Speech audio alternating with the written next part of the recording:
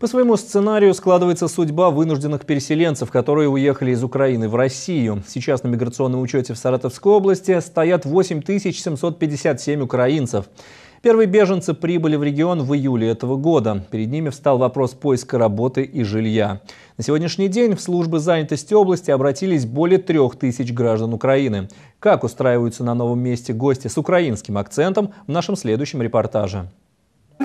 И Денис с закрытыми глазами будем просто его передавать друг другу. Это упражнение на доверие помогает кадетам привыкнуть к казарменным условиям школы-интерната. Психолог здесь незаменимый специалист. Недавно на эту вакансию приняли Наталью Власову, вынужденного переселенца из Украины. Я устроилась в сентябре месяца на эту работу. Когда мы приехали в Саратов в конце июля, где-то с августа месяца начала поиски работы. Вот. Я вышла на министерство, э, министерство образования. Я познакомилась с Виктором Николаевичем, с директором э, кадетской школы. Ну и вот так я оказалась здесь. Наталья нашла работу по специальности. Она психолог-практик, работала на кафедре психологии в Луганском национальном университете. Ее саратовская зарплата – 12 тысяч рублей. Но Наталья нашла и приработок. Читает психологию и педагогику будущим географом в СГУ. В кадетской школе свои особенности. Дети скучают по дому, живут по строгому расписанию. И задача психолога – научить их снимать напряжение, расслабляться. Новый опыт психолог сейчас описывает в научной статье об адаптации пятиклассников. Для меня новая, конечно, специфика, потому что здесь одни мальчишки. Вот. Но единственное, что мне облегчает, у меня самой два сына. Поэтому, наверное, как-то в большей степени такой внутренний мир мальчишек мне понять легче, наверное, чем девчонок. Но опыт в этом плане материнства есть.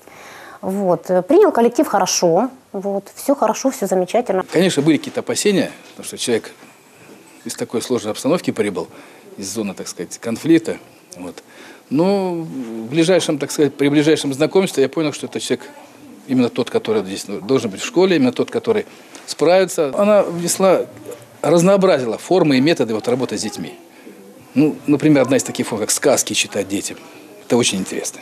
Наталья нашла здесь не только работу, но и жилье. Руководство школы выделило ей с сыном комнату в одном из корпусов, где обычно ночуют приехавшие издалека родители кадетов. Здесь тепло, светло, есть телевизор и личная кухня. Это варенье мне угостили а, в социальном центре, беженцы тоже. В общем, мы контакт друг, друг с другом поддерживаем. Наталья с ностальгией вспоминает своих соотечественников и первый адрес в Саратове пункт временного размещения в заводском районе. Говорит, там очень помогли с поиском работы. В общей сложности в Саратовской области трудоустроено более двух тысяч граждан Украины. Это более половины от числа всех трудоспособных гостей. В Саратове нашли работу 550 человек. Структура вакансий, предлагаемых работодателями, разнообразна. Это от помощника руководителя до разнорабочего. Заработные платы предлагают от минимального размера оплаты труда до 30 тысяч рублей. Переселенцам предложили работу 88 предприятий Саратова. Самое большое количество вакансий выставили водоканал, служба благоустройства города и одна крупная мебельная фабрика. Ее предложение особенно в цене, потому что там украинцам предлагают еще и место в общежитии. Юлия Шишкина, Максим Пустовалов, РЕН-ТВ, Саратов.